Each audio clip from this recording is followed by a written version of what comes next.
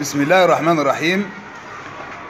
بنسجل النهارده مع تلاميذنا في المرحلة الابتدائية صف ثالث وبنقوم معاهم بعض الحروف وبعض الكلمات في حصة خط العربي وبنشوف أطفالنا وأولادنا الصغار إزاي نقدر ننهض بيهم وبمستواهم وخطوطهم ومهارتهم.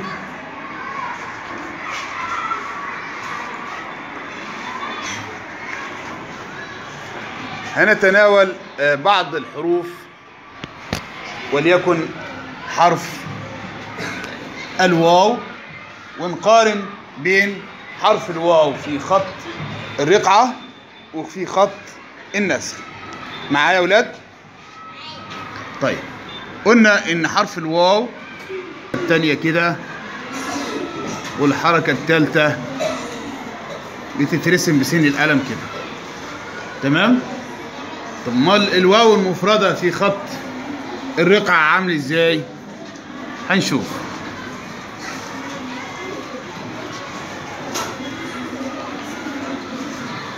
كده هو مطموسة ما فيهاش إيه؟ ما فيهاش فراغ ما فيهاش اللوزة اللي موجودة هنا في الواو النسخ.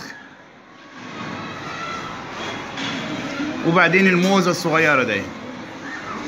ماشي؟ طيب. لو جينا قلنا هنا اهو الجزئية دي نقطة واحدة بالقلم اللي أنا بكتب بيه. الجزئية دي نقطتين بالقلم اللي أنا بكتب بيه. ماشي؟ طبعا واضح الفرق في المقاس بين خط النسخ وبين خط الرقعة. النسخ طبعا أكبر من أكبر من إيه؟ من الرقعة طب نشوف الواو. النسخ لما تيجي في وسط الكلمة أو في آخر الكلمة.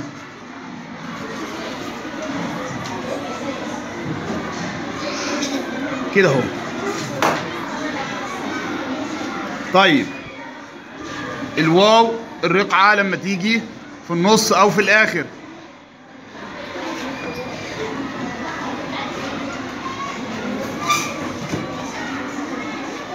خد بالك. النسخ نزل عن السطر الرقعة. ها؟ سمعني. آه. طيب عايزين نشوف الواو وهي في كلمة. وليكن أنا عايز أكتب إيه؟ وردة.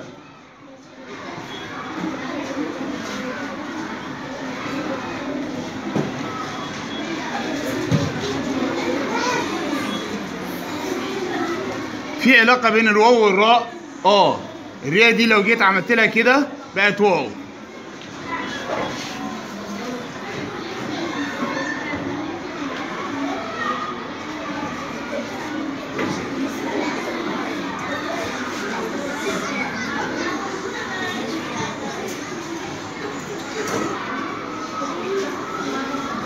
وردة.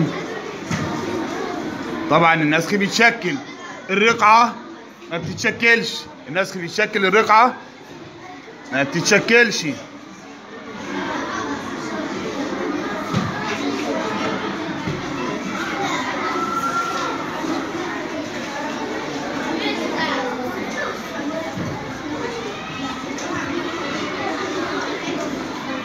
هنا النقطة هنا النقطتين نقطتين هنا النقطتين شرطة.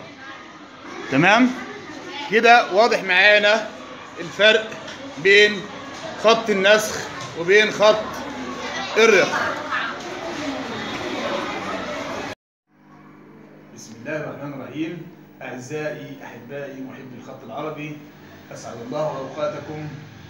آه، معا نستكمل آه، سلسلة تعلم الخط العربي. آه، خدنا دورة النسخ 30 حلقة. خدنا دورة الرقعة.